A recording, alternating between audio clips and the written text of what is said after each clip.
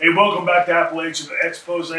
This is a big one for me. And I know I say that kind of stuff a lot, but you all know how, all my career, I've talked about Barry Windham being an, uh, you know, a uh, an influence on my career. Barry, it's great to have you here, brother. Good to be here.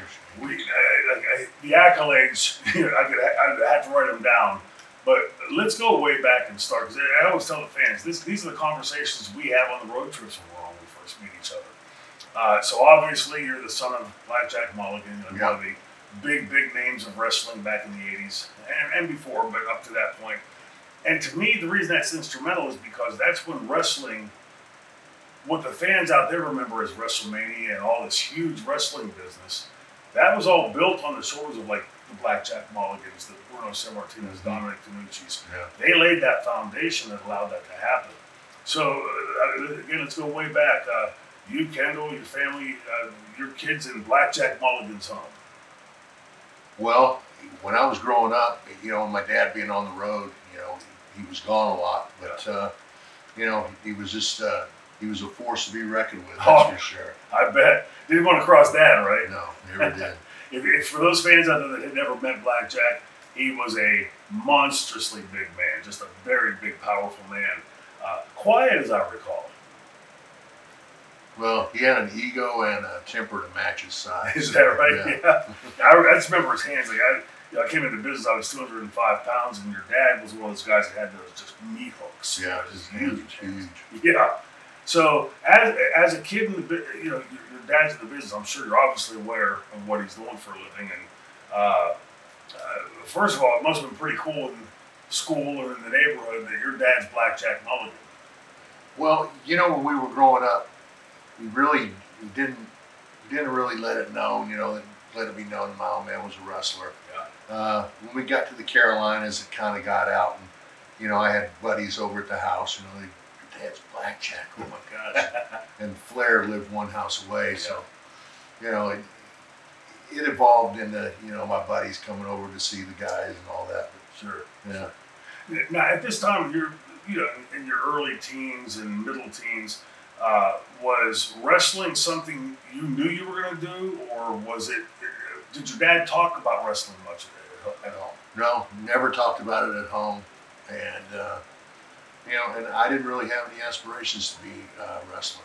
I was, uh, I went to school at West Texas State, and I was uh, roommates with Kelly Kiniski, and uh, I just think that you know that kind of propelled me towards Sure, sure. So, in an odd way, you being a son of Blackjack Mulligan, this huge star of professional wrestling, you end up being drawn to the business, going through college and, and the wrestlers there. Because like every fan out there knows how how instrumental West Texas, West Texas State was and all the wrestlers that came through there. Yeah.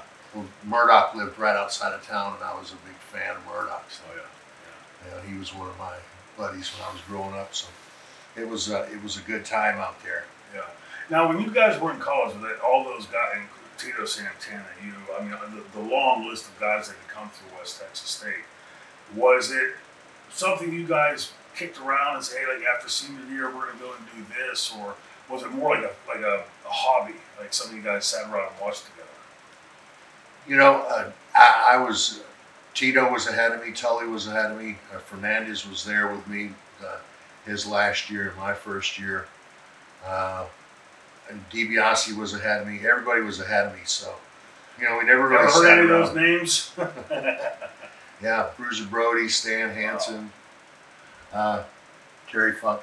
Uh, yeah, we, we never sat around and talked about it, you know, or, or, or watched. It's just, uh, you know, I guess it was just natural progressions with the Funks being right there in town, and then, you know, uh, my dad and uh, Murdoch owned the Amarillo territory while I was out there, so me just to go to school, just to go to work right there in Amarillo was easy hop. Step right in, right into it.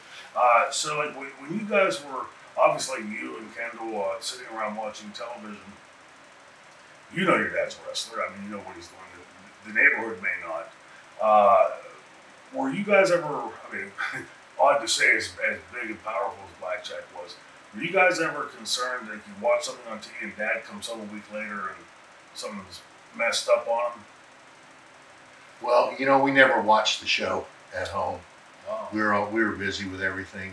Yeah. Uh, you know, uh, I would hear enough about it when I got to school on Mondays. Yeah. But uh, it was, uh, we didn't really watch it. And, and, you know, I guess it's just because he didn't uh, talk about it or anything at home. Yeah. Wow, that's great. You know, again, because he, he wasn't just one of the guys in the business, he was one of the guys in the business. And, you know, obviously having, I've got two sons and, you know, I, they never spoke the same thing, never spoke to them much about it, have rarely let them watch it. Uh, but, you know, they go to school and they'll come back and you know, the same thing the kids talking about it. Uh, at what point did you make the conscious decision to, okay, I'm going to follow my dad's footsteps? Well, I was I was in Amarillo, and it was, or I was in Canyon, and it was summer, summer between uh, football, and uh, Mario Savoldi was out there running the territory for my dad. So he said, "Hey, why don't you come ref?" So I started refereeing, and I refereed on Thursday nights there in Amarillo, and then I started going to the road, and then I started hauling the ring and refereeing and setting up the chairs and putting out posters. So it was just became me and Mario running this whole operation for for probably about six or eight months. But uh, that was just how it happened. Now, were you in your freshman year, junior year, uh, sophomore year, junior year when this all started? Uh, I was I mean, in between my freshman and sophomore. Okay, so I mean, you, you had a pretty busy schedule then. Practice, football, Yeah. you know, carting the ring around and doing all that stuff. Uh, uh, but I, I always tell the fans that that really is the commonality, the thread through all of us. When you come in as a young boy, that was your job, right? To cart the ring, set it up, tear it down, and else. Yeah. Uh, and it really made did in my case anyway made me really appreciate when I would get to the building and didn't have to set the ring up or offload it or pack it pack it away. Uh, so you're you started dabbling in business in your between your freshman and sophomore year. Uh, now, that, as I recall, the things that I'd heard, that was one of those really heavy driving territories, right? Oh yeah. Yeah. Three, four thousand miles a week. You drive. You'd start in uh, Amarillo and go to Colorado Springs or either Denver, and then back to Albuquerque, down to El Paso, then to Odessa, and then a spot show, and then back. And still doing your studies and still making football practice. Well, yeah, this was later on after I refereed and, and hauled the ring and did all that for about a year. So it was it was after I'd finished. I uh, I went back for uh, summer ball, and then I was there for the fall, and then uh, well, I don't know what it was. I got a decent paycheck, so I just went on. Yeah. it draws the attention, doesn't it? Yeah, I think I made like four or five hundred bucks one week, and that was it. It's loaded. Yeah, ready to get. yeah, I had the money then. Yeah, hell with that college stuff, right? So, uh, did you play football through the four years? No, just two. Okay, so after the wrestling starts picking up, uh, uh, so uh, I, my earliest recollections of you and watching it, like you were one of the guys that like my eye drew to. I would say, Brad Armstrong, you. There, there were some guys you would watch on TV, and it looked a little bit like a show. They were good at what they did, but like watching guys like you and, and, and Brad, uh, to me as a young athlete, and not aspiring to the business at this point, I would watch you guys and think to myself, that's what it would look like if it were a shoot, if it were real. This is how the way Brad would move, the way you would sell. Uh, uh, I always talk about this, and the fans out there that follow me know. There's a picture, a famous picture of you uh, early in your career, where um, it looks like you're just getting ready to go to the comeback because your arms are down at your side and the veins are popping out of your neck. It- like You're screaming. You just see this guttural my screaming. 18 inch neck. Yeah. but but that would to me, if somebody was beating the shit out of you for 10, 15, 20 minutes, and you finally got the swerve to, to get back on top, that looked to me real. Like what would be you- finally got the up on this bastard, and now you're gonna take it and do it. Yeah. And, and then like later when it, when cable came into Pittsburgh and we were finally able to see because up until '76 or seven we would get WWWF and I would read about the NWA in Florida and all these places in the magazines but could never see it. Yeah.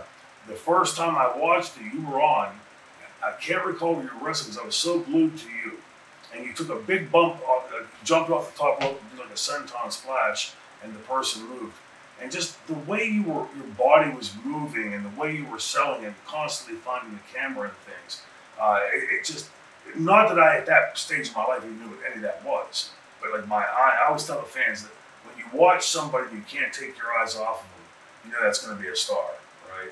So like with your dad. Uh, one of the things that stuck out to me was how different you and your dad's styles were. Yeah. It wasn't, you know, you know, Blackjack was one of those big beat up, beat your ass type type of guys, and you were in the wrestling and coming off the ropes and doing stuff. And when when I learned that you were Blackjack's son, I thought that was a work because at the time you guys didn't look like each other. Blackjack is just a huge man. You were had that slender build, that athletic build. Uh, did your dad ever come to you and say, okay, kid, I, I watched your match last night and this or that, don't do this or that, start doing this or that? Uh, the, the most that he ever said to me was that I need to snug up. Yeah, yeah. And that was just because he worked so snug. Right. You know, it's like clotheslines and stuff like that. You, know, you can't rip a guy's head off, so you got to let it go. Right. And he was just, you know, that was it. That's the most critique he ever gave me. Yeah. And, you know, that, to me, there's a lot of prescience in that because, you know, you, I, again, you're coming to the business behind your father, who's this massive star, building your career. I would think that would get a bit weighty, you know, to have somebody like your dad come in and say, "Stop doing this and start doing that." Uh, so it sounds like your dad had a pretty good understanding of business. A, you guys had different styles, and he saw something different for you, and, and didn't want to come and butt into it. It's uh, uh, you know, I always this is the part of the business that always fascinates me because I look at Bruno and Dominic uh, and the way they trained me, the guys I got to work with and learn from, and there were so many different styles and everything. It, it almost seemed at one point to be just like I'm drowning. It's just too much to learn. Uh, did you ever reach that point? Well, you know, I spent a lot of time on the airplane wing of Eddie Graham's plane, you know, and, and talk for hours about the match. And, and I really think that's where I learned. Sure. Uh, but as far as, you know, it's just being overwhelming, I don't think so because, you know, I just, I just learned to relax in the ring right off the bat. You know, you just, you got to keep your head, you got to breathe. Right. And then that way, you know, you're aware of what's going on. I've seen so many guys who get in there and just, Yeah. and then, and then they just blow up and they can't do anything. yeah. I, I was working a program in UWF with uh, Michael Hayes and uh, I forget if it was Buddy or, or, or Terry, but came time for my comeback, right? And the whole time I'm selling, I'm, I'm really selling hard right now. My lungs felt like this, you know. And afterwards, Michael Hayes pulled me aside and said, "You gotta breathe." And nobody ever told me that before. I mean, it makes perfect sense, right? Uh, who were the influences on you? I mean, obviously you're looking at your father, uh, again, a huge star in the business. But I again, spent that, that year refereeing. I was around. I was Murdoch was there every night, so I was with him. I traveled with him most of the time when I didn't have to haul the ring. Uh, I was around JJ, and then you know just other guys. You know Ricky Romero, uh, Alex Perez, the old Alex Perez, uh, uh, Ted Heath. You know, just guys, just every night. And it was just every night. And I was in there refereeing all the matches. And then it got to where I wrestled the first match, and then referee all the rest. You know, that's just how I learned it. Did it over the course of, I would say it's probably about a two-year deal before I. Well, see, fans out there to understand, like being a referee and, and having all those finishes and things, doing timing, spots, and everything, that must have been a fantastic tutorial about Oh, the yeah. business. Watching these great wrestlers. Yeah, and especially with them in the ring, you know, he, you know, like Murdoch and JJ could call everything, you know, right off. Sure. So, you know, seeing them ad lib and take care of things when it didn't go to go to plan, you know, I learned from that too. Yeah, yeah. It's, I, I, I before I became a heel uh, in ECW, I think to my, I always thought to myself that being a heel is just the opposite of being a babyface. And then I realized, wait, I got to call the match, I got to think for him and for me, and there were so many more facets to it that the, the mountain of respect I had for guys like Bobby Eaton and uh, Ted DiBiase and Eddie Gilbert, your dad, and Bruno Dominic, I mean, it's a long list of people.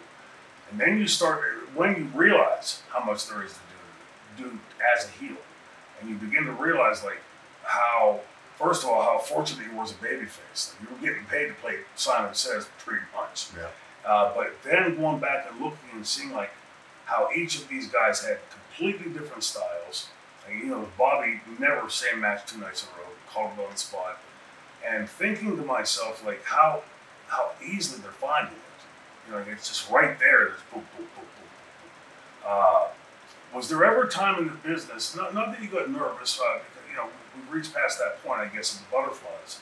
But was there ever a point that you saw yourself still, say, a third quarter of the way up the up the ladder, and all these amazing wrestlers above you? Did it ever seem to you to be uh, like there's no way I'll ever be better than Harley Race? There's no way I'll ever be able to take Blackjack's spot. Was did that ever hit you? No, you know, I never looked at it like that. I looked at it every night when I went out there. I always tried to have the best match that I could with who I was working with, and and to try to learn something. Sure. And and you know, I just I kept that philosophy all the way through my career, and it, and it, it really helped. Yeah. Do you still find yourself like, towards the end of your career that you were still learning? Oh yeah. Yeah, it's amazing, right? Uh, how many days? I just watched a documentary the other night, 350 days, and you know, I was half asleep at watching it, but I knew the story. Right? I didn't have to wait to listen to what they were saying. I knew the story, uh, and in that, Steve Austin and I had talked on his podcast about how how overwhelming it was at first, and then after like a five, six, seven year period of this constant on the road, in the cars, dressing rooms, ring, with these guys that were all future Hall of Famers. Uh, all you had to do really was like Dominic taught me back at school, keep my mouth shut, and my eyes and ears open. And I was also keenly aware of what I didn't know. Like I, and every one of these guys in this dressing room were all amazing at what they did. Uh, how how long were you in the business, uh, or were you in the business before you started feeling like in control? Uh, uh, not that you had mastered it, but that you wouldn't panic when something went wrong. I would say probably I was probably three or four years into the business after I'd been working in Florida probably two years. Yeah. Now with uh, Eddie Graham, I, I never had the pri- privilege of meeting him or working for him, but I've never heard anything but great things about his mind for the business. Yeah. Yeah, it was just you know he, he would he would find something to talk about and he would he would make sure that that was ingrained in your mind yeah. and you know we just like I said you know we spent hours and hours and, and there were you know two and three flights a week sometimes we would do that so it Just was sit, a great learning experience. yeah, just sit under the learning tree. Yeah. Uh, now, uh, all these guys obviously different personalities, different ways of, of, of leading or managing or, or running a promotion. My first break in the business was the UWF uh, with Bill Watts. Uh, luckily for me, I guess at the time, he was off trying to build the company to compete with WWF. So Eddie was pretty much running everything, and that's what gave me my break into the business. My first night in the building with Bill, uh, I had first match in Tulsa, TV taping with Eddie. He of course called everything, and I came back and I was excited just because it was the first time I was working as part of the crew with a real promotion. And I'm taking my tape off. Not that I even knew what a good or bad match was at that point, but it felt like a good match, and I figured Eddie calling it. Well, I walked through the curtain. I had not yet at this point met Bill. He had been off on the road. So I see him standing, you know, first curtain, second curtain, dressing room to the right. That cowboy hat and leaning on, on one one side, and he didn't look happy. So as I got close to him, having not met him, I said, "How you doing, uh, Bill?" And I went to walk past him, and he said in a very loud voice, as you know, uh, "What the fuck was that?" And I stopped dead in my tracks, and like my brain's going to the computer, right? Is he shooting? Is he working me? And I settled on he's working me because it's my first night meeting him. And I turned to him, I cracked the grid. I was going to say nice rib. I didn't get a syllable. He came in like a grizzly bear. And Bill, at that time, I was 205. He's what, 340, 50. Uh, slamming into the wall and screaming at the top of his lungs. I honestly thought he was going to say, "Get your bag and get the fuck out." And uh, but I, it's like tattooed on my brain. Don't ever turn your fucking back to the camera. If you turn your fucking back to the camera, the people at home don't see, which means I don't sell fucking tickets, which means you don't make fucking money. And I got it. I, I didn't like the way he did it, but I got it.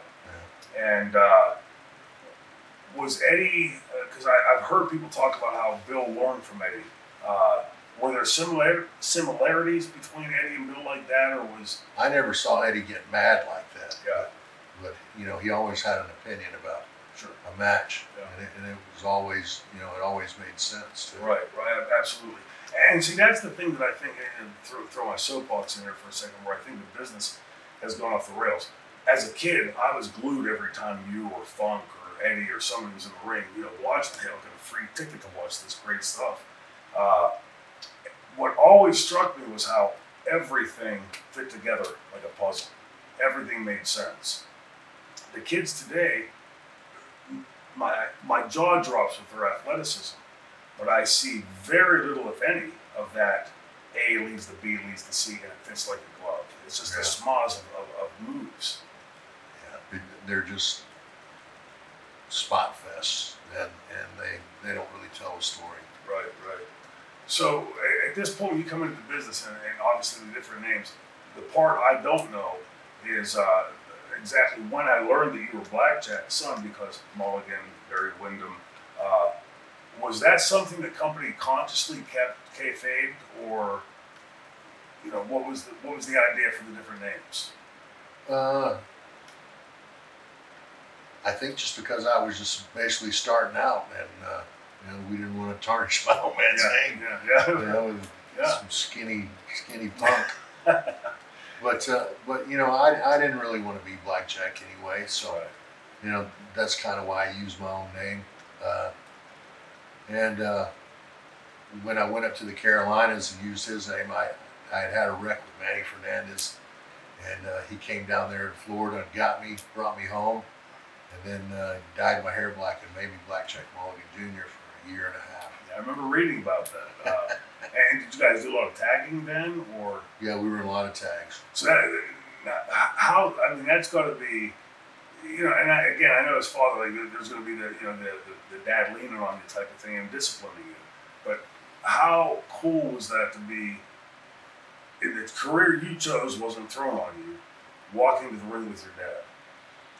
Well, it, it was it was really easy, you know. I, I had him as my partner, you know, and and everybody knew what to expect from him, you know. And I was just Yeah, you know just the guesswork thrown out there. So yeah. I really had an easy part. All I had to do was just make sure that you know I shined a little bit. Yeah, and you didn't screw it up, right? Yeah. Exactly. Yeah, I wouldn't want to come into the dressing room with Blackjack being upset about a missed spot or something. It's, the when I first broke into the business, months into the business, Dominic DeNucci was my trainer, Mick Foley's, uh, took us to Montreal, and I had this chance meeting with Bill and Scott Irwin.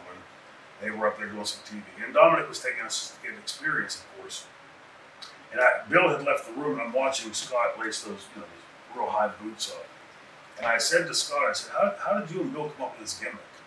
And he looked at me, laughed, and said, Son, if we weren't wrestling, we'd be in a bar stomping a mud hole on somebody right now. and then he gave me, honest to God, the best advice of my career as far as character development goes. He said, don't try to do anything original. It's all been done. And he went down like mummies and Frankenstein's monsters and cowboys and Indians and goes through the whole thing. And then he said, look for wrestlers that wrestle in your vein that you admire. Take a little piece from each of them, throw it in a blender, and then he said, and throw a big heaping dose of yourself on top. Well, those people for me were you, Brad, Steamboat, Flair, Funk, and obviously Bruno and Dominic, uh, and then a big dose of myself on there. You're selling as a babyface. Uh, Steamboat, fantastic at it. Uh, Ricky Morton, phenomenal. I mean, there's some guys that are really good at it. I have you at like that upper echelon of the selling where that is really what's selling for the heel, getting the heel over, getting the match over, and bringing the fans into it. Well, it makes the job easier for the heel too. Yeah, absolutely. have a baby face itself. Yeah, It makes it half sure, work. sure. Was there anybody that influenced you on that? Anybody that came you and said, "Hey, kid, like maybe try this instead of that." Well, when I first started out, you know, I was, you know, I was never a jobber, but, but I mean, they beat me and they beat me on TV. But it's what it did is it was building up to something where I finally got that win on TV, Right. and then I started progressing, and I did a program with uh, Morocco to where we went for the TV title, and I went Broadway, Broadway, Broadway with him. So I mean, it's just just a different way of building a, uh, a character. Right. Uh, Again, because you're selling to me, like, it, I always looked at wrestling, having wrestled amateur when I was younger. Uh, I would always watch a rest, professional wrestling. I loved it. Uh, what to me did I like about it? What did I dislike about it? And to me, the, the whole kayfabe thing and building up the characters. Once I got older and realized what those things were, uh, and then I would go back and watch those matches because I had a mountain of tapes in my house, and I would watch these matches. And every time I would watch somebody like you or Eddie Gilbert, I would see something different, something in addition to what I picked up before.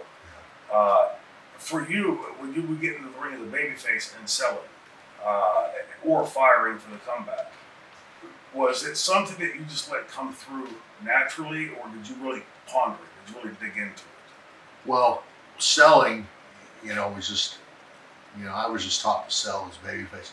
It, uh, what you're trying to do is you're trying to fake a real fight. You're trying to work a real fight.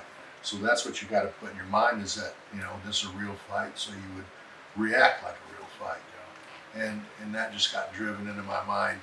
Uh, so so that's how I learned to sell. And then as far as making comebacks, you know, Eddie Graham he, he said, shit on the ring lights if you can, you know. okay. Yeah. He called me the screaming skeleton. He said, just he said, just go fucking crazy, stomp to the mat, Yeah. shit on the ring lights. that's and that's reflected in that picture I told you about, Yeah. right? It's uh, the you know for the kids to get out there watching and listening and understand, trying to understand. I hope uh, the way like for me it was so intimidating walking into those dressing rooms, right? I mean, all these guys are the guys I've been watching for years, and and again, you you walked into that room and you were immediately aware of what you didn't know. Uh, and then appreciative after the match at how these guys were taking by the nose and pull you through. Uh, you mentioned something earlier about the, you know, think it's a real fight. Bill Watts had a saying, think, shoot, but work. Yeah. And, and I, I was always doing that through my head. Uh, it's where the, where the kayfabe has gone in the business. Uh, and, you know, I understand how everything has been exposed and all that, of course. But I liken it to when I go into a movie theater. I use the I use the same movie all the time. Halloween. When Halloween first came out. I remember vividly, like it was yesterday. My friend and I going to watch that movie, and we had seen a thousand spook movies, scary movies, monster movies, whatever. And when the, gets the knit, knit- knitting needle in the neck, and he, you think he's dead, and he sits up behind.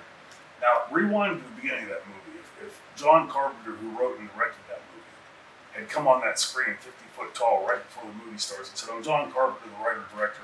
Appreciate you buying a ticket to come see my movie. I want you to know that all the blood you're seeing is just Karo syrup with red food dye. Nobody's dying. The knives are all rubber. Enjoy the movie. That would have made it a comedy instead of like, oh my God, right? That sort of dig into the cell. And, and to me, that's kayfabe, right? Like if, if we're if you and I are working a program for a year, building up this, you keep beating the shit out of me and screwing me however you can, and we have a big show on the pay per view next week, and then the week leading up to that, like WWE Experience or AEW Dark, right, uh, where they go on immediately after the show, and then they sort of make fun of what they just did on the show. Hmm. And you see, like with WrestleMania Experience, again, you and I have been spending a year building this angle and the company with their time and money. And then three days before WrestleMania, there's me and you having a beer together in, in tuxedos. Yeah. And I just cannot fathom why they do that. Again, it would be like John Carpenter coming up on the screen and saying what I, I said earlier. Uh, it just completely has the floor drop out from everything you and I have worked our asses off for, Yeah. and the companies put all that time and effort into. Do you see the same thing in the business uh, from a different perspective, same same way? Well, you know, it's like I was saying before, you know, I just see spot fest matches. Guys that, I guess there's so many different little wrestling schools around, you know, that, that everybody, they think if they can hit the ropes and take a bump that they should be a wrestler. Hmm. So, you know, there's, there's more to it. It- it- It's a trade that you've got to learn. If you want to be good, then you've got to spend time. Sure. and you've got it and there's a lot of thought process that goes into it you know besides being all physical Yeah. and uh, Well, that's just that's just the way I was taught. Same, yeah, yeah. It's yeah, it's stark to me whenever I watch the difference because I come on the road driving with these guys and stuff, and I start to talk about this, and I think to myself, where did it go off the rails? Like, how, if you were a young kid in this dressing room and saw a Barry Windham sitting or Arn Anderson, or Tully Blanchard, or Jake Roberts, you have no questions for these guys. There's not a thing these guys could give you to help teach you. And I, always say, if I was coming in the NFL, number one draft choice quarterback, I come in, I think I'm full of shit and vinegar, right? And there's Tom Brady standing over there, and Ben Roethlisberger, Terry Bradshaw. I'm guessing I probably have a question or two for them. Uh, I had gone to a couple of the AEW shows, and I before the, right before the show had started, I ran into Arn and sat and spoke to Arn for probably 30 minutes. And during that time, not a single kid came up to talk to them and ask them anything. And I thought to myself, I know these kids are all aware of what he was in the business and how good he was. How can that? It just doesn't make sense to me. You got this fountain of knowledge over here. Why would you not partake from? I, I don't know why uh, uh, the AEW doesn't have a, a position for Arn, you know, to be like that. But you know, he's told me, he says, I'm just there. He says, they don't ask me anything, I don't do anything. He says, just tell me what to do and I do it. right. And you and I both had the, the privilege of working with him. And what a night off it was, but how much you, every night, you, in my feeling anyway, was every night I worked with somebody like an Arn Anderson. I went back to that dressing room possessing more knowledge than I did before I went to that ring. Yeah. And it was a night to night basis. How far in, like, at what point of your career, it was 79 you broke in, right? Yeah. Okay, so how long during this time, we talked about the running up and down the roads, uh, before they started nudging you up that card a little bit? Or, and, and, and were you even aware of it? They were starting to nudge you up a bit. Well, I was with Dusty in Florida, and know, I traveled with Dusty, and I was pretty close to him, you know, and uh, we talked a lot, you know, and, and we talked a lot about the angles and all that, and about what he was doing and what we were going to do. Uh, I just think that's how it came about, you know, just being around Dusty. Right, right. Now, Dusty, I'd never seen that side. He was always the, the booker in the office when I, you know, when I came in as a kid. Yeah. Uh, what was his teaching style? Like when he would talk, if you went out there and did something really dumb in the ring, would he come to you hot? Would he uh, more kid glove it? How, how did he handle that with the young guy, the young timers? I never really really seen him call anybody down for anything they did in the ring. I've seen him mad a couple times, you know, but it was just over something that happened during a match with him or whoever he was with. Uh, yeah, I, I never saw him handle anybody way. Yeah, yeah.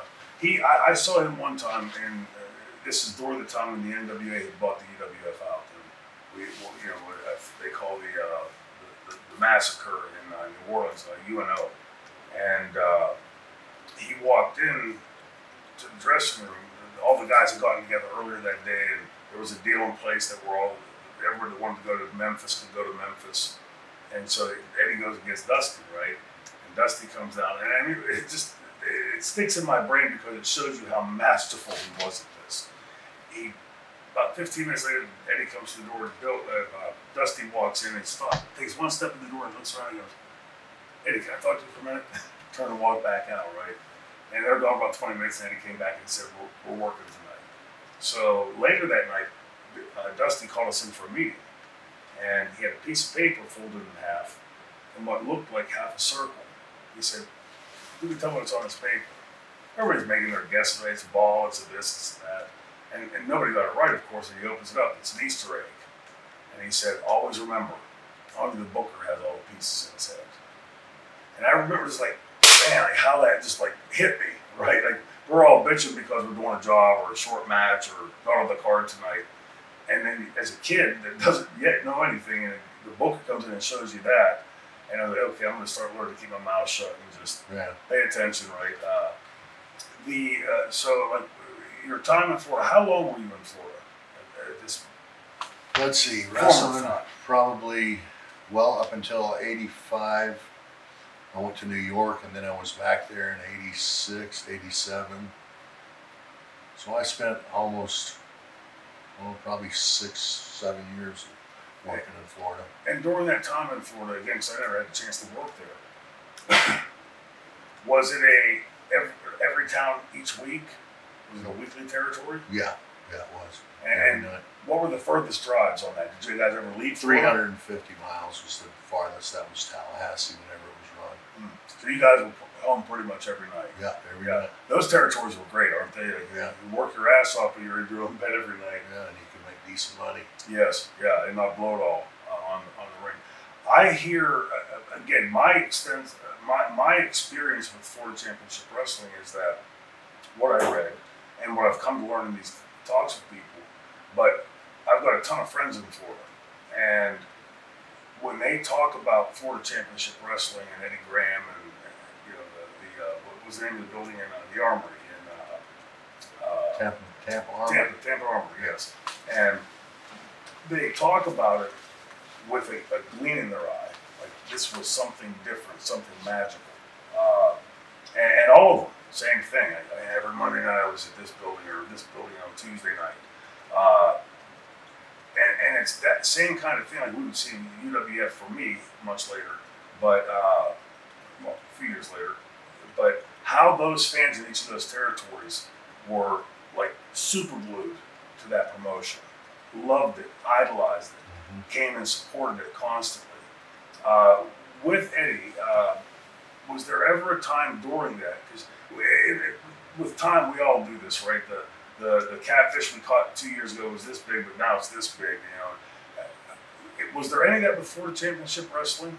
Uh, because everything I've ever heard about it is with glowing praise. Was there ever a bad time or a time when stuff just wasn't clicking?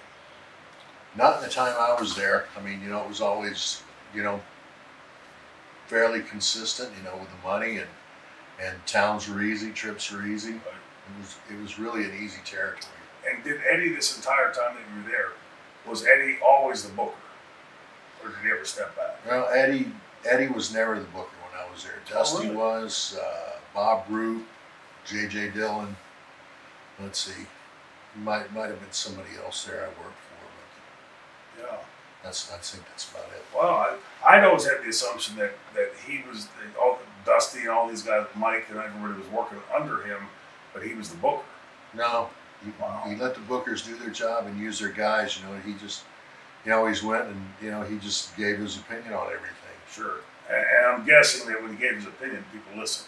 Yeah, And Oh, yeah. again, Bill, Eddie's one of those guys I've never met, but in all my years in the business, I've never heard anybody say anything negative about him as a boss or a promoter. yeah. And uh, that must have been a lot of fun, I, I- you know, as a kid coming up in the business. Yeah, it was. I have great memories down there. Yeah.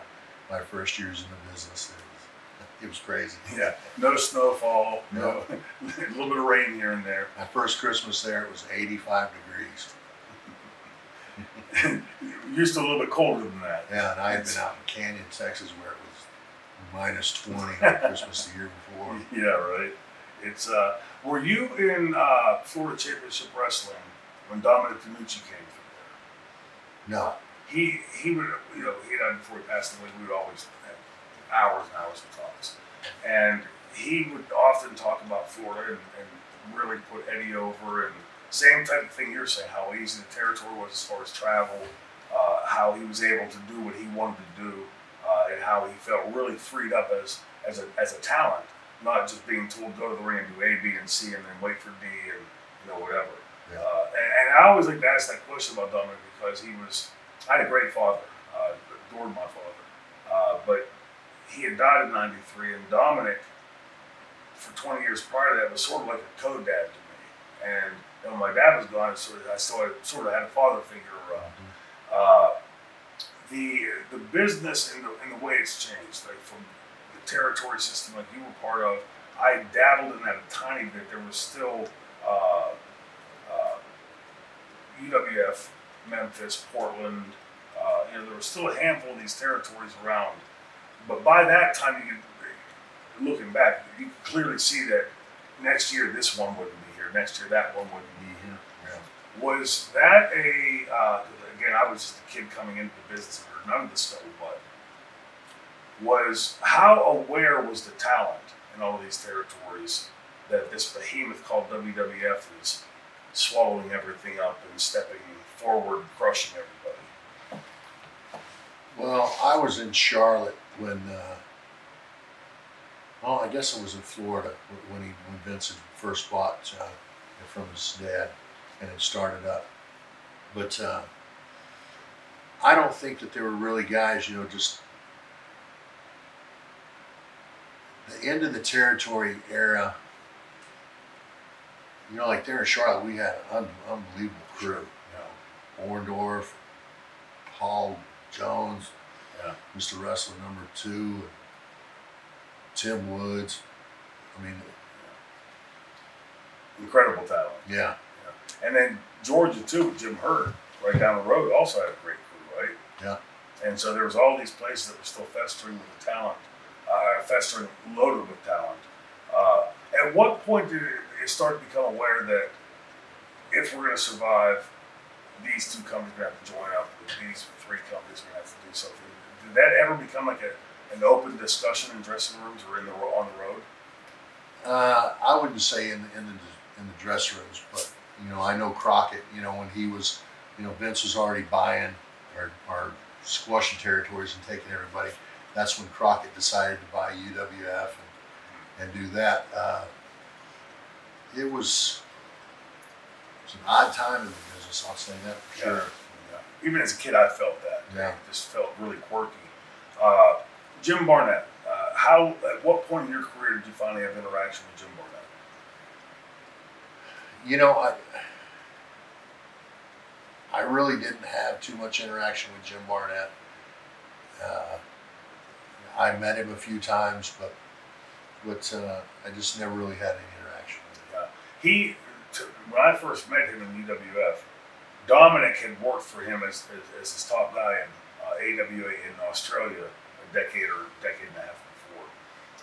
When I first met him and I went there, Dominic said, make sure you introduce yourself. And, uh, you know, of course, you know, Jimsy and I, I respected the world out of him, but, you know, everybody in the business does Jimsy imitation, right? Uh, he was such an oddball person that, you know, for, as a kid, again, there's sort of this distance. But he took me to his office and we sat down to talk. And I'm looking at the pictures he has on his wall. And I see him on the Carter inauguration stand, sitting two or three seats behind Carter. And on the Reagan inauguration, I'm looking at these pictures of him. Who is this guy? Man, he, he must be somebody, right? If you're sitting that close to the presidents. Uh, he had uh, an amazing uh, finger on the pulse of the psychology. That was where I, I believe, at least from what Dominic had told me, where that really became a big thing in the business because he had been, uh, before the Australia promotion, he had been a professor of psychology at the University of Chicago. Really? Yeah, and so, you know, when you're talking to him, like, I didn't know that when I first met him, and I just thought he was like one of the guys that helps out in the office or whatever. And then you come to find out that, and then you go back and see the little footage that you can see from AWA in Australia, but then also in, in all the territories, once those companies, once the territories started folding down, those companies that didn't survive started growing, and you saw the greats in those companies all exhibiting that psychology. Yeah. There was a story being told that made perfect sense. And I think that came from Jim. Uh, Were you aware? I know Eddie was a great guy with psychology. Uh, who else, like, were you aware of in the business at that time that were working in or out of these territories? Were uh, to me, it's like Jim Barnett, uh, Eddie Graham, even though I never met Bill Watts. Those are the guys I think of promoters that, that were heavy on the psychology. Was there anybody else that you were aware of that you worked for or that didn't quite their name quite last in the business? The only guy that I really spent any time around like that was Eddie. So you know, like that was my, you know, my first six years in the business. I was around him. So Right. you know that that probably that ate up a good portion of that. Sure. Uh, I think with my dad being who he was, you know, a lot of guys kind of shied away from giving me. Yeah. I don't want to thank goodbye, Jim. Yeah. when once you start making this climb, man, uh, you know, every I always tell my son as a guitarist, Eric Clapton screws up every night on stage. He's just so good he can make you think he wanted to do that. Uh, every night we we make, we all make mistakes in the ring. was there ever a time as you were starting to get like now to that semi main and inching towards the main event stuff, uh, and your name is building around the industry worldwide? Was there ever a time your dad came to you and tried to give you pointers, or, or was he pretty much hands off? Yeah, he was pretty hands off. You know, like I said, the only advice he really gave me was to snug up. Mm. See, that, that, that seems crazy to me because it's, you know, as a father, I can't imagine if my kids were following my footsteps that I would be able to push that urge down, like to give them some kind of piece of advice or whatever. You, did you take that now in hindsight, looking back, knowing your dad? Was that sort of your dad's validation saying, doing a great job, kid, by not sticking his nose in? Uh, probably.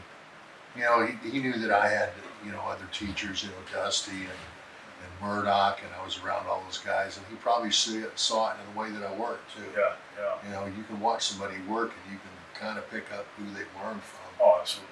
And, uh, you know, I'm sure he saw that and he was okay with it. Yeah, yeah, and, and of course he had, had worked with all these guys and Yeah. knew what they were capable of.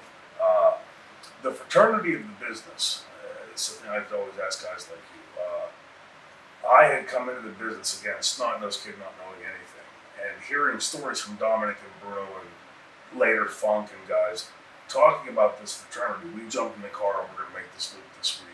Um, how tight those guys became making those loops together looking out for each other, that kind of thing. When the business finally exploded into the national and then international way that it did, and that sort of disappeared, at least in, in my perusal, uh, was that something that, like, were you aware of that coming up? Did you experience that kind of camaraderie uh, amongst the boys? Yeah, when I first traveled, I traveled with the guys, you know, every day, and you know, I traveled with Gordon Nelson and you know the referees and the first match guys, you know, Reggie Parks. Uh, Yeah, yeah. I traveled with all those guys for about the first year, but uh, then, you know, it's just I don't know. It, the way the business changed, I guess it was all the flights and everything when you first started flying yeah. you know, everybody wants to do their own thing, and I don't know. I just saw a change. You know, there's not as much communication between the guys, not as much. I guess the guys are just as friendly as they used to be, yeah. but uh, you know, because that's the nature of the business. But uh, yeah, all that time on the road was definitely something that was.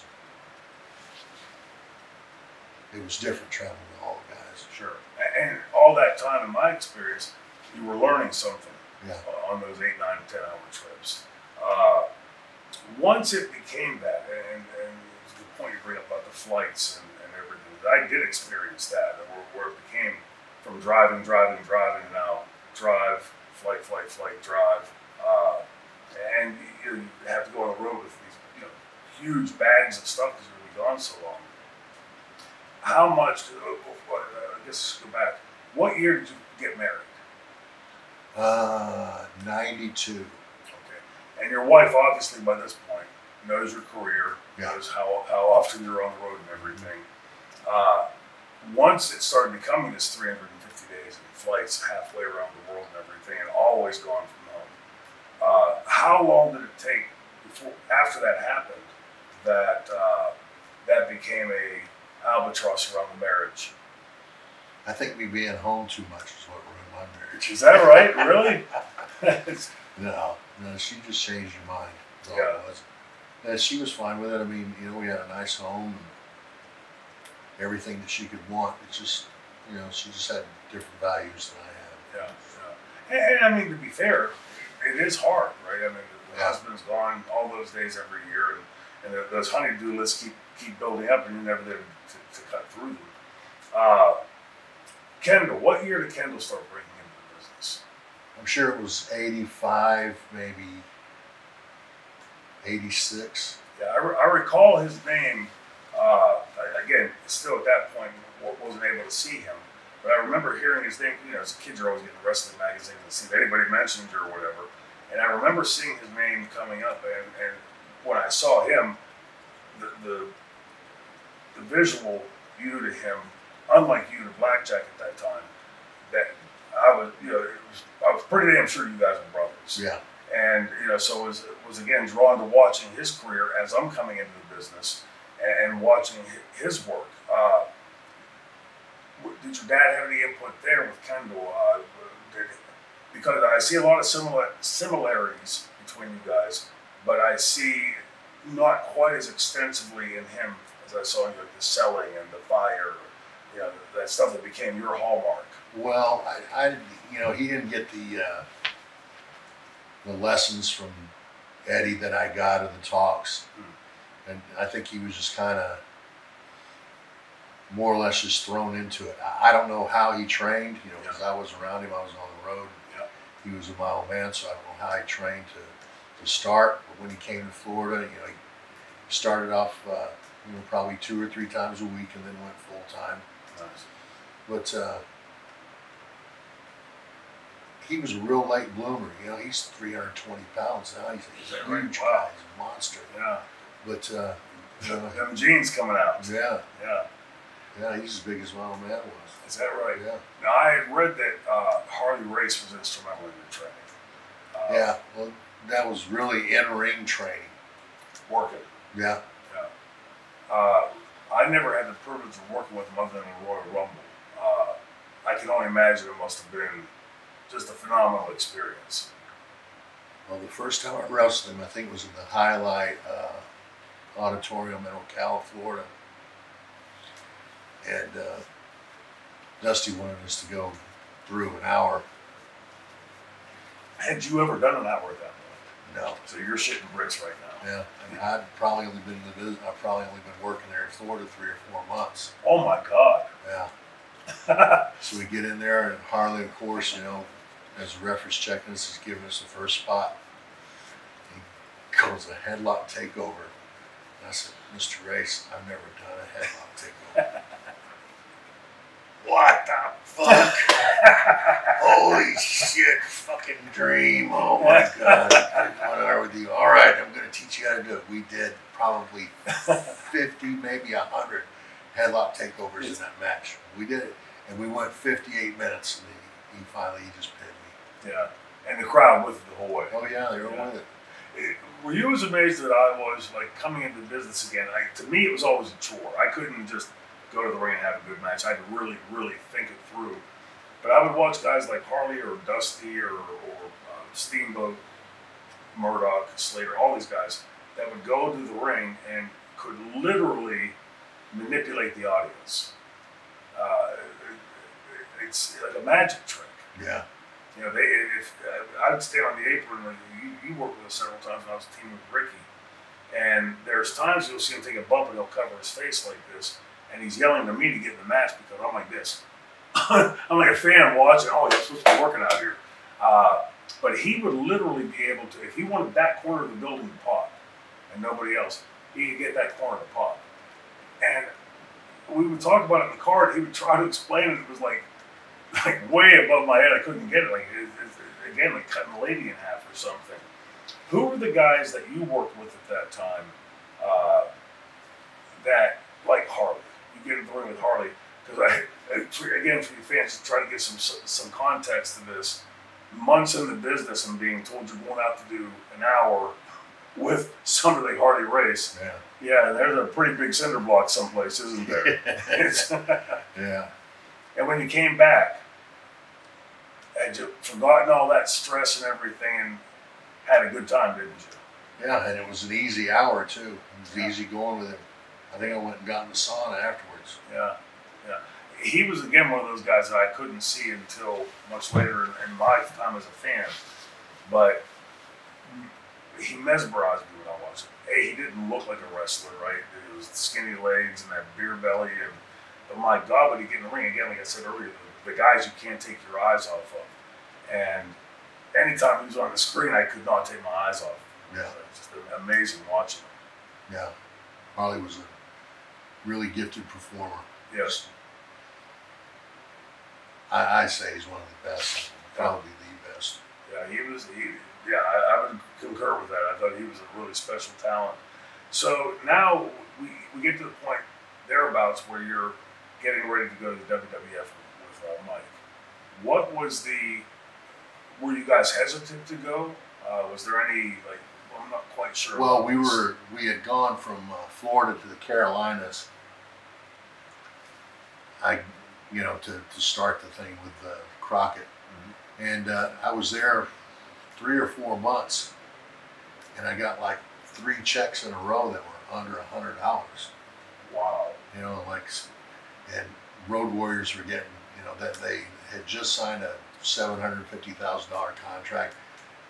So I'm sitting in the dressing room, and you know, I just think, hundred bucks. I didn't have enough time, money to get to the next town. I think Right. it was. Right.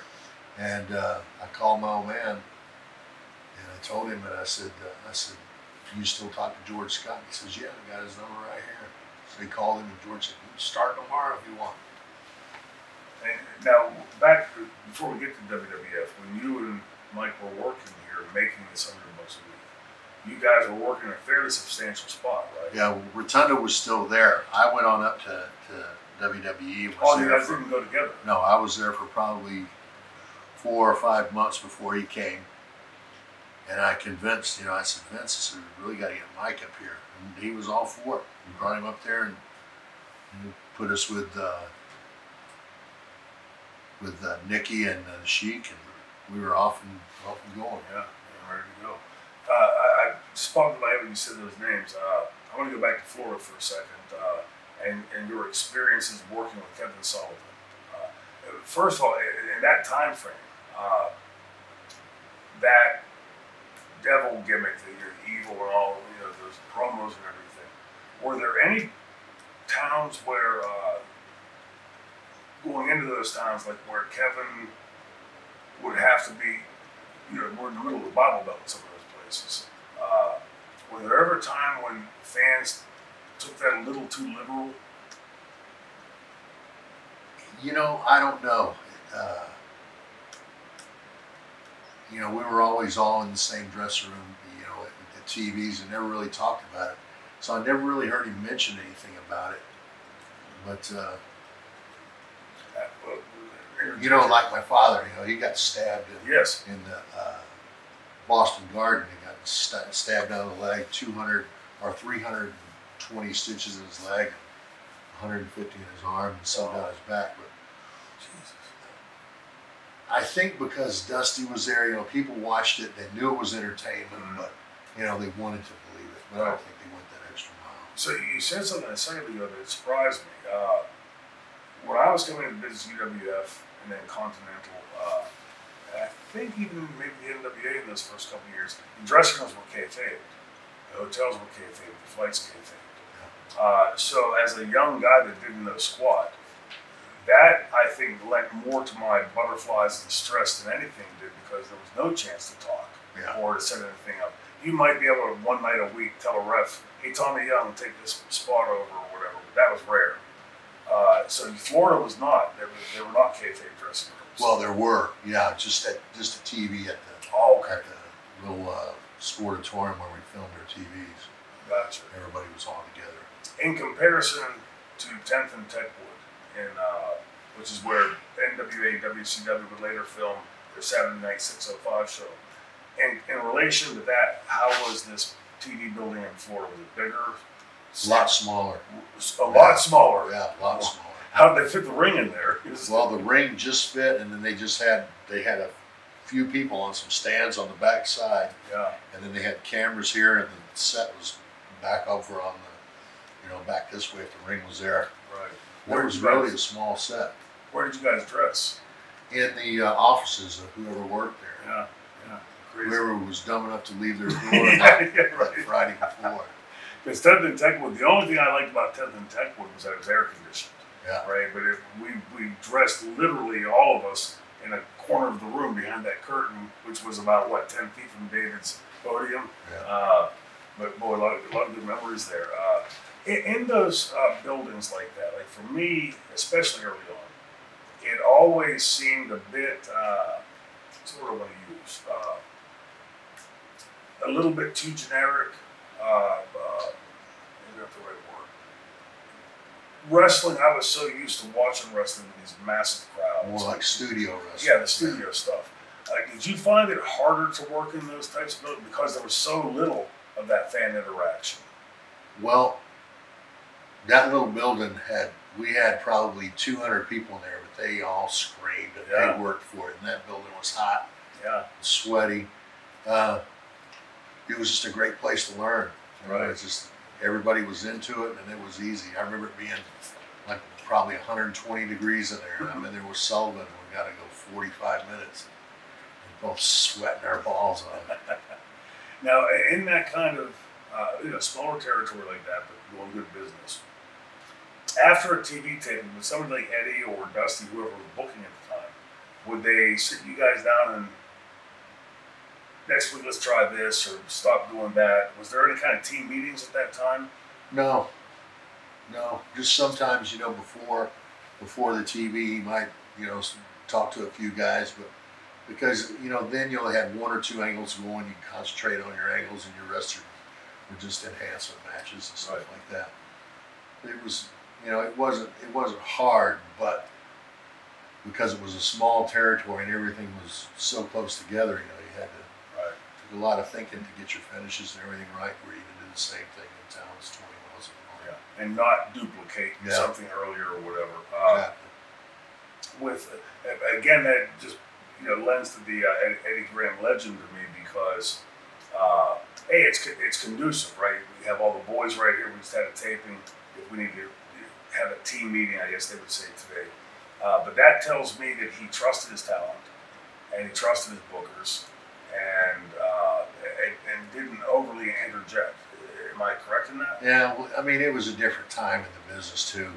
You know, there wasn't everything wasn't micromanaged like it is now. right So if you could go out there and get yourself over in a match, it was great. If you didn't, next guy. yeah yeah So that's just how it was. Right.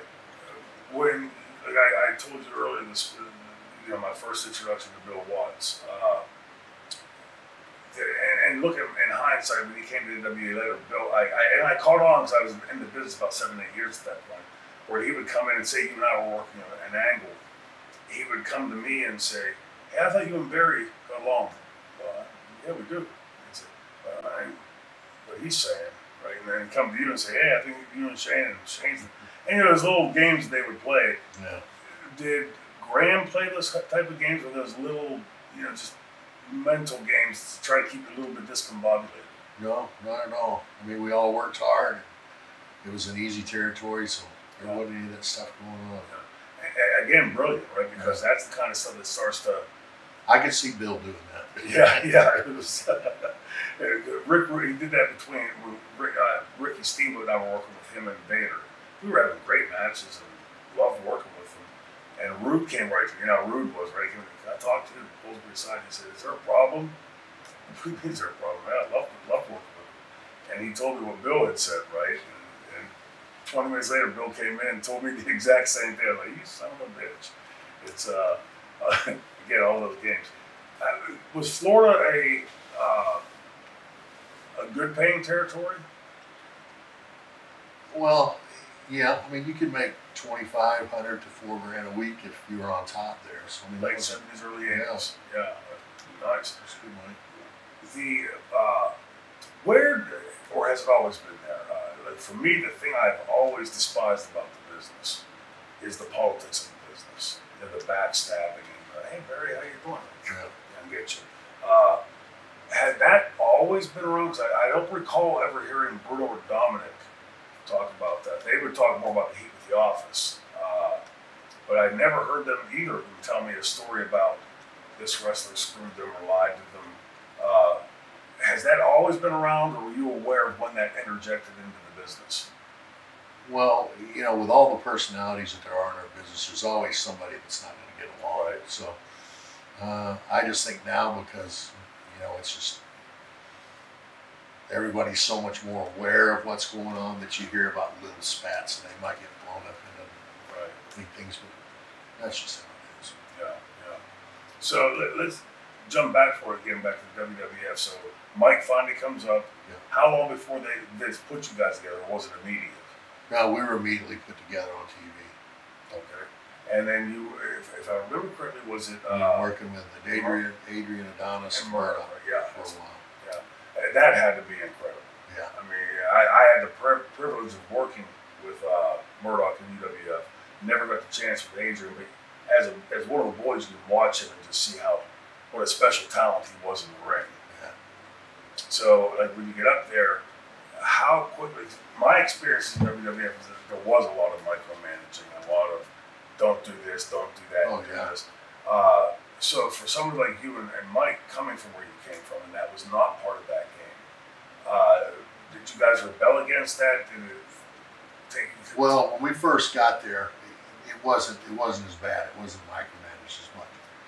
We had Lanza as a as a agent, and love uh, that, uh, yeah. there was Rene Goulet and uh, Jay Strongbow, uh, and you know those guys.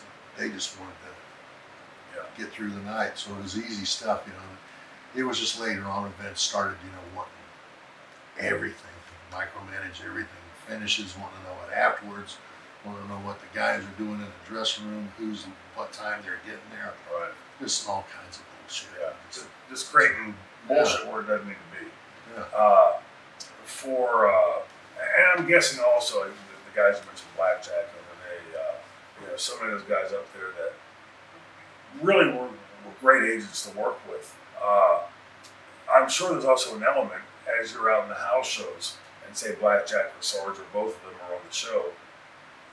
I'm guessing, and correct me if I'm wrong, that they know that Nick Mur- uh, uh, uh, Dick Murdoch, uh, uh, Adrian, you and Mike were the ring, and they're pretty well aware that you guys know your way around the ring. Yeah. So they didn't have to worry about the micromanaging. Yeah, they probably didn't even watch. Yeah, yeah. And did you find that, like, from, from coming from a, the, the kid's position in the business and learning, learning, learning, when you got to the point where you realized the agents or the promoter was said, "Okay, Barry, go out give me something good," and they just left it to you, did you find that liberating and uh, footloose? Well, I mean, that's kind of how it was for me from the start, you know, because, you know, there, there wasn't all the micromanaging. You know, you, you more or less had control of who you were and what you said and what you did, Yeah. and whether it worked or not. Uh, later, you know, with Vince, he started changing that, you know, dictating what characters do and all that. And it just, you know, that's when the business changed too. Yeah. yeah. When management had more control over what you're doing than you did. Right. And that was a tectonic shift because it, it happened, we think, 79 to what was 83, 84. So you'd been in business for approaching 15 years and had a pretty solid name built. Uh, same as Mike, same as uh, Adrian and, and, and Dickie. Uh, somebody like Dick, uh, my, you know, love him to death, he, he can get a bit terse, right, when, when things weren't right. How did, was there ever a time that you saw someone like Dick or Adrian pushing back against that micromanaging or, yeah, I can't do it that way or, Well, Adonis didn't want to put us over for the, the title, hmm, so Murdoch said, "I'll do it." You know, and he did it for me, yeah, which was you know great. Uh, but Adonis, Adonis had a a reputation in the dressing room around that time. You know, he was always screwed up on drugs or Oh. something. So he was just wasn't completely there at that time. So Right. How long after this? Uh, when we get into those '80s, my it just sort of all runs together to me. Uh, was I, I in my head? I have it that around that mid '80s, '86 time frame when Adrian got killed in an accident. Right? Were you guys working with them then? No, that was afterwards. Yeah. Uh, that was a couple years afterwards. We had worked with Murdoch and uh, Adrian in '80, early '85, Mm. and then Murdoch finished and Adrian went on to. I guess he was the guy in pink for a while. Yeah, yeah. The, you know, my first experience working with Dick Murdoch, and I was like you, I'm just a huge fan of his. Uh, we were in Biloxi, Mississippi, he goes to the ring first, and he's not on the microphone. He's yelling over the crowd, "Bill Watts, I want me some competition. Send me some competition." I was 205, 210 at the time. I hate my music. I go to the curtain. He starts like pointing at me and laughing, right? And I what's he doing that for? Goes to get up in the ring and do the old arm drag, hip toss, body slam uh, opening. We're eight, nine, ten minutes into the match, and we've really done nothing. The fourth time we locked up, and it it's again one of those things tattooed on my brain. Uh, we locked up, and as he's pushing me to the turnbuckle, he says, uh, "Shane, do you hear me, boy?" And I said, "Yes, sir." He said, "I want you to duck my punch and hit me." One time, it was like that pregnant drag, right? Mm-hmm. I didn't get it at the time, but now, knowing what I know, I'm certain he thought if I don't tell him one time, he's going to hit me 50 times, right? And, and again, the protection of that kayfabe, right? Yeah. Just do the one time and gets his heat, and 10 minutes later, 15 minutes later the match, he stops and sells that punch from 10, 15 minutes ago. And although I didn't at that point quite fully understand it, I did sort of get it. And then learning more on top of that, for me, I always revisit those types of things and think, man, what a fucking master. Yeah. Just, just brilliant in, in the simplicity. Uh, and all those guys in the business like that were like that were that. You're running WWE. You guys had a good run up there. Uh, at what point you end up departing, or did you and Mike both leave at the same time? We left at the same time, but he went back. Yeah. And where did you go from there? Uh, I went back to Florida. Okay. So Florida was still running at this point. Yeah, 86 and 87 was in Florida. What were, when did Florida close? It was probably, it was, I would say it was probably around 90 because I think Dusty went in there after that. Uh, yeah, probably around 90. And so when you go back to Florida, uh, and Mike ends up returning back to WWF. Uh, is that when he started the IRS gimmick? Uh, Spivey was up there. He was with Spivey. Uh, I don't know what he went to there. Probably the IRS. Then I remember you again coming back to WCW. I think it was. Well, Magnum had his wreck, and I went to Charlotte to see him, and uh, came back, and they asked me to come up there to work, so I went there. Hmm. So that's when I went back to Charlotte, and I was there. Well, until '90. Till nine. Yeah. The uh, the uh, to give the fans some context here. Uh, Magnum had been being built for the world title, Yeah. and was just one of those studs in the ring. And this tragedy happens with this accident. And uh, what always amazes me about him is, you know, because we, we have a tendency to get sucked into this business and mired into the business. But I look at a guy like uh, him, A, that he was able to get to that position in his career that quickly. Uh, just underscoring what a study was in the ring. Yeah.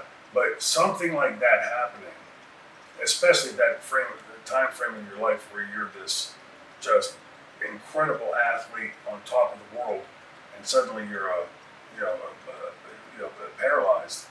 Uh, it would be easy to succumb to that and just roll over and play the boo-hoo me role, right? Yeah. And instead, Magnum is, he's never stopped. No. Like he's gone out and started companies, and Yeah, he's still going. Too. yeah, it's still going strong. I mean, it's an inspiration to see. Yeah, he Uh, is. Yeah, it's something else, right? And uh, I remember the one time in a dressing room, I can't recall where it was. Oddly, the side that he was paralyzed on, he had no, he had, he had feeling, but the side that he was paralyzed on, he didn't have feeling. So he was leaning against the griddle, and it was burning his hand. He didn't even know it. And, I, and I, that sort of struck to me how cruel what had happened to him was. Uh, but again, in hindsight, looking at all, all he did and, uh, and still does, uh, amazing. Uh, what uh, after you go back to Florida Championship Wrestling, and now back to WCW uh, for the, the, those years. That's when I was there, uh, and I remember you being there. We were in Savannah, and this is when you were riding your hog around to most of the shows, and you just disappeared. And I never heard any story as to what happened. Like you were booked on the show that night and, just were gone. What Uh, year was that? 90? 90, 89, 90. Uh, what year? I left and I came back in 93. I'm, I'm pretty sure it must have been the earlier run because Steamboat and I were together later. And, and you were, of course, there when we worked in, uh, you and Dustin.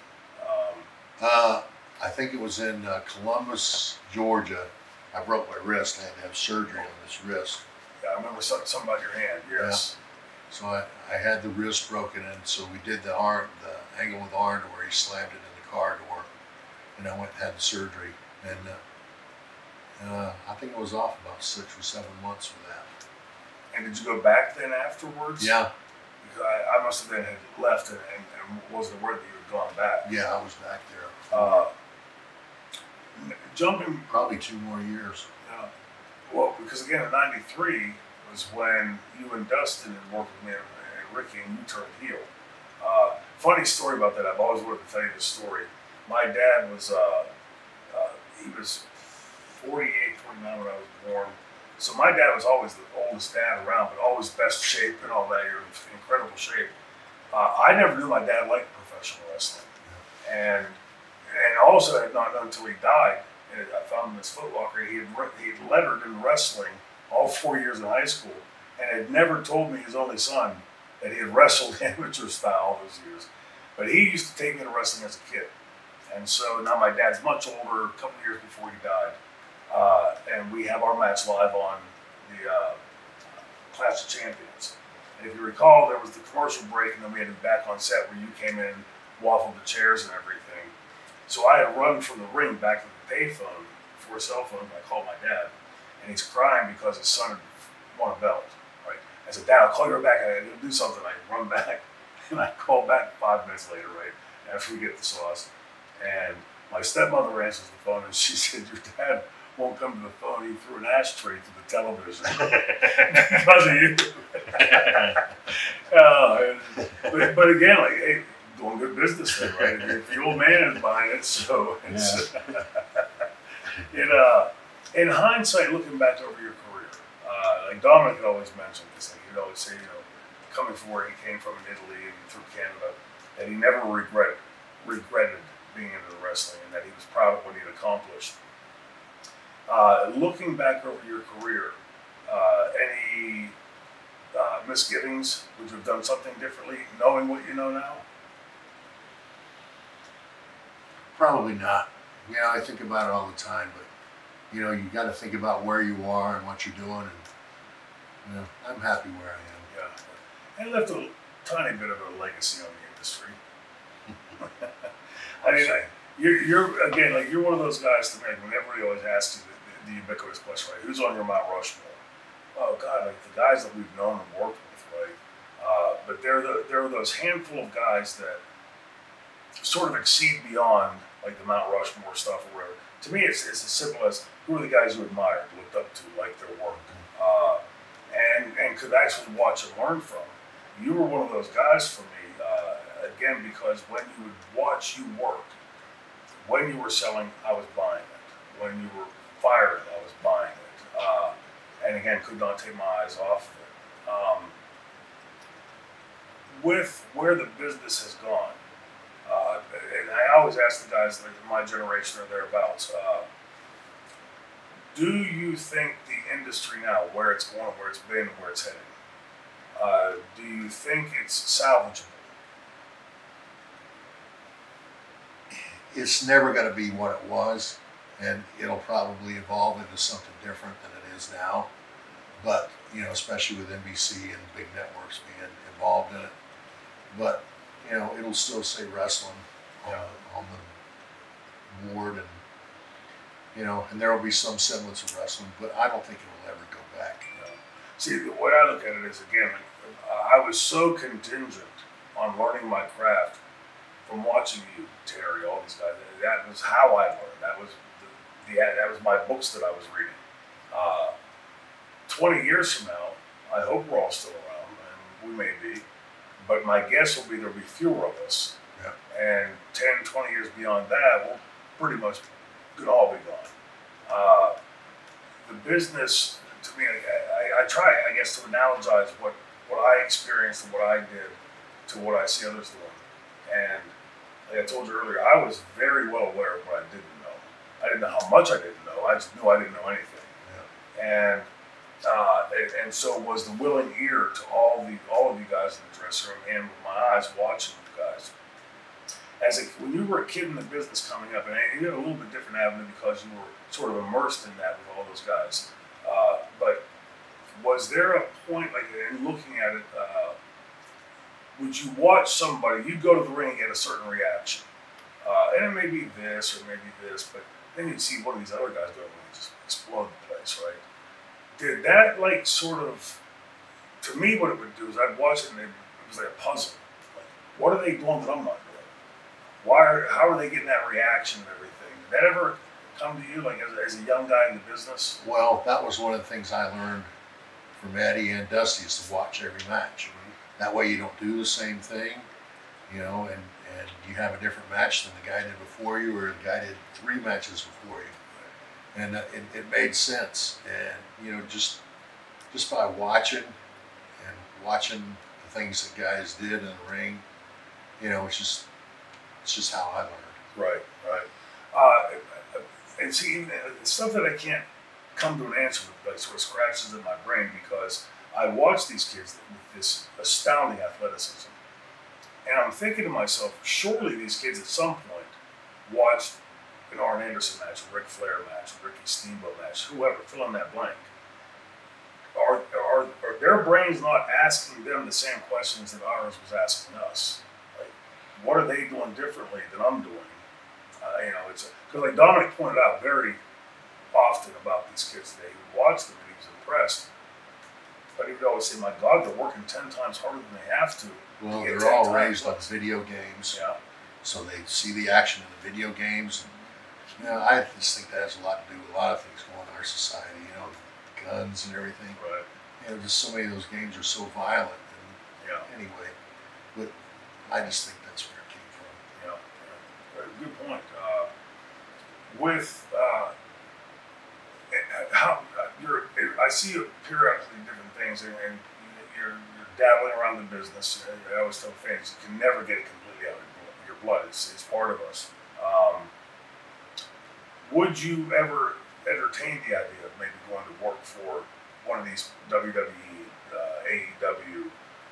Because to me, I, like I said again, I, wa- I watched learning from you, I watched listening to you, uh, and I desperately believe in my bones that the, the kids today do need somebody like you and I both have, Yeah. take you by the nose and teach a little bit. Uh, would that be anything that interested you? It would on a limited basis. I, I just can't travel like I used to. Right, right. It's harder every Yeah, we've done love that. But yeah, I would, I'd love for something like that. Yeah. yeah. So, uh, final question, and sort of a simple one. Uh, just your thoughts in general of having seen the things you've seen, done the things you've done, being Blackjack's uh, son, being Kendall's brother, being in the industry, and being one of the guys in the business, right? One of the guys that left a mark on the business and a legacy. What, how's that? How does Barry Windham assuage all that in his head? Like, how does that play out in your head? You know, to me, I just live every day, Yeah. and and I just try to make it as easy as possible. Yeah, yeah, yeah, absolutely. Uh, proud, uh, uh, stupid question, proud of your career. Uh, but do you look back and, and, and even with all you've done, does it somehow seem to you like, like maybe it, it feels like a dream almost? Uh, you know, we, we, all those experiences every night, and you know, it's odd to me because when somebody will ask me a question, it's something that I thought about in 30 years. But as soon as they ask that question, the memory's right there Yeah. and you really get to relive that memory. Uh, do you do the same type of thing? Well, a, uh, a guy that I met at one of these uh, trade shows gave me a, a booklet, and it was supposed to be of all the matches that I'd been in. Wow. There's almost four thousand of them, Wow. and uh, I was reading through it and looking through it, and there were just months on months that I had no recollection. Really? But you look back, and, and then as you start remembering and looking at it, then you start remembering. You know, there's just so many memories, and because you do almost the same thing over and over, it becomes, you know, methodical. Right, right. And then I guess you don't give as much thought to it, but not as much gets put away either. So, Right, right. Well, yeah, and I tell the fans a, good bit of us, hey, do you have these tights or these? boots? No, they wore out, threw away and got new ones. Hey, We didn't think that way. It's, uh, but uh, anyway, we got a guy to talk to all night, Barry, but I know you, you got to get to a signing today. I really want to thank you for coming today with us, and and also thank you as uh, allowing me to watch you and learn from you and, and, and pick the things up that I did. Uh, Barry Windham, ladies and gentlemen, one of the guys that left a real mark on the business. And one of the guys that to me made it look like a shoot. So appreciate it, Barry. Thank you very much. We'll see you guys here next week.